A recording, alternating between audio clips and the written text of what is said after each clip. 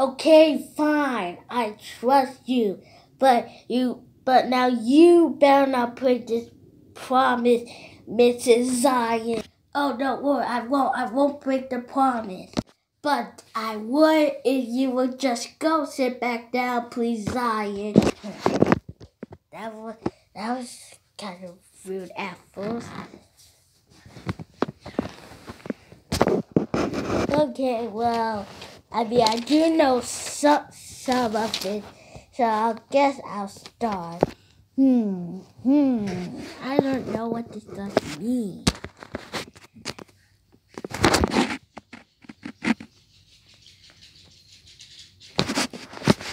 Do you know what this does mean?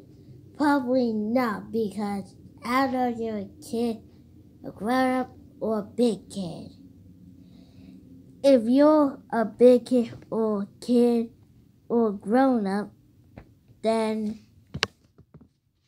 I mean kids they don't really know the stuff. So maybe I mean it's about to be lunch lunchtime in a few minutes.